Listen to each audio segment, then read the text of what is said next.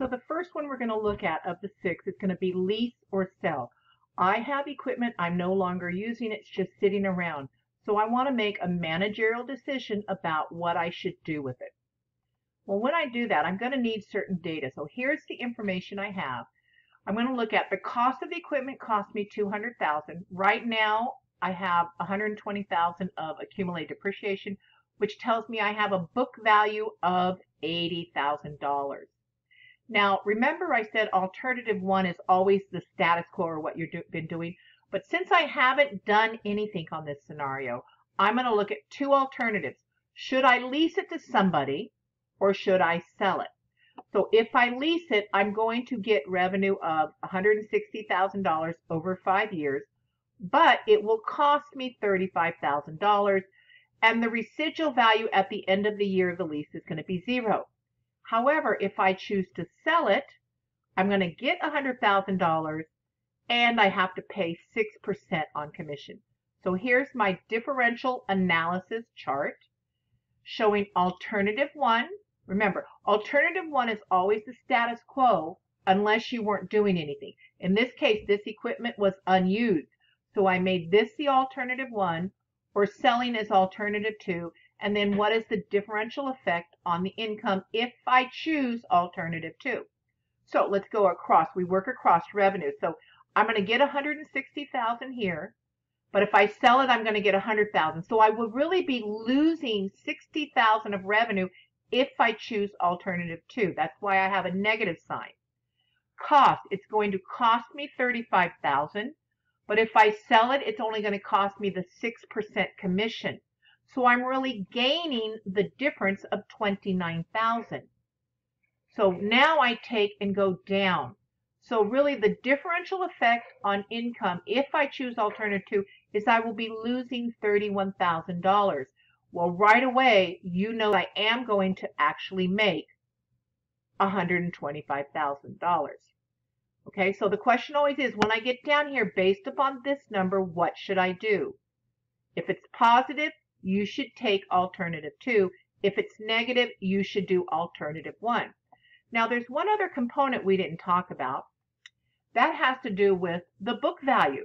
So I just want you to know that information I gave you about the $80,000 book value is irrelevant here. It makes no difference about the book value. It's called a sunk cost. I've already bought the equipment. I've already incurred the um, the accumulated depreciation. I can't change any of this. So sunk costs are costs that have happened that you can't change and has no effect on my actual decision. So this is lease or sell. Next, we're going to review stop making a product or discontinue a non-profitable product line. So sometimes, I'm, of course, most companies make multiple different types of products, but I may have a product line that may not be profitable. And so the question becomes, should I keep making it or should I not? Now, I have to remember that once I get rid of the product line, any variable costs will go away. However, my fixed cost will always be there regardless what I do. So let's take a look at an example. So I'm Battle Creek Cereal Company and I make lots of different types of cereal. But here is an income for my cornflakes, my toasted oats, and my bran. And so the total is basically the numbers added across and then down. So as you notice, my bran flakes is a uh, not a non-profit product line, and I'm considering should I get rid of it. So here's all my data. Here's my here's my revenue that I'm getting. Here's my cost. Uh, here's my variable cost. So I have 60,000 here and I have 25,000 here and my fixed costs are 20 and 6. So the question is, should I discontinue making bran flakes? So we're going to put it in a differential analysis chart. It's going to look like this. So can, alternative one is continue what I'm doing. This is called status quo. Alternative two is get rid of that product line. So here's my information. Here's my revenue. Here's my variable. Here's my fixed. Here's my net income or loss right now. If I get rid of it, I am not going to have any money. I'm not going to have any variable costs, but I will still have fixed costs.